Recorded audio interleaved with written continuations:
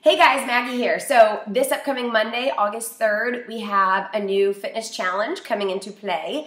Um, a couple different options for you. Option A drink your Shakeology, my beloved supplement of choice, and do any workout program or exercise routine that you desire.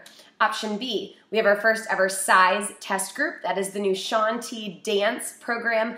Think dance like backup dancer um, or music video dancer, not so much learn a dance routine or add on different movements like a Zumba class or something. Um, just different. And then the third option is another round starting up of Insanity Max 30. Again, all things start Monday, August 3rd. You let me know what you're ready for, what you have questions on, and we're here to chat. All right, guys, talk to you soon.